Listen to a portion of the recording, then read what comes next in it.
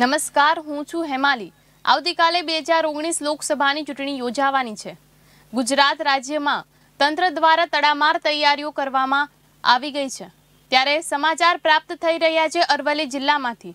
ત્યારે અરવલ્લી જિલ્લામાં શું છે મતદારોની સંખ્યા? શું છે ત્યાંનો માહોલ? આવો જાણીએ. અરવલ્લી જિલ્લાના એક હજાર અઠ્ઠાવન મતદાન મથકો પરથી સાત લાખ છોતેર હજાર છસો અગિયાર મતદારો મતાધિકારનો ઉપયોગ કરશે.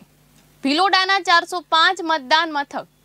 બે લાખ નેવ્યાસી હજાર છસો સાઠ મતદારો. મોડાસાના ત્રણસો સાડત્રીસ મતદાન મથક અને બે લાખ પંચાવન હજાર આઠસો અડતાલીસ મતદારો નોંધાયા છે. બાયડાના ત્રણસો સોળ મતદાન મથક. બે લાખ એકત્રીસ હજાર એકસો ત્રણ મતદારો નોંધાયા છે. તેમજ વાત કરીએ જિલ્લામાં છ હજાર બસો બે દિવ્યાંગ મતદારો પોતાના મતાધિકારનો યોગ્ય રીતે ઉપયોગ કરશે. અરવલ્લી જિલ્લામાં પંદર સખી મતદાન મથક અને ત્રણ દિવ્યાંગ મતદાન મથક જિલ્લામાં છ હજાર નવસો સોળ પુરુષ મતદારો અને ત્રણ હજાર એકસો સડસઠ મહિલા મતદારો નોંધાયા છે. કુલ એક લાખ ત્યાસી કર્મચારીઓ ફરજ બજાવશે, જે પૈકી ત્રણ હજાર પાંચસો ચોત્રીસ પુરુષ અને બે હજાર આઠસો તેર મહિલા મળી. કુલ છ હજાર ત્રણસો સુડતાલીસ કર્મચારી મતદાન મથકો પર ફરજ બજાવશે. જિલ્લામાં એકસો સોળ માઇક્રો ઓબ્ઝર્વર અને એકસો અગિયાર ઝોનલ અધિકારીઓ ચૂંટણી કામગીરીમાં કાર્યરત રહ્યા છે. દર્શક મિત્રો, વધુ ચૂંટણી અપડેટ્સ માટે જોતા રહો કેટીવી ન્યૂઝ ગુજરાતી.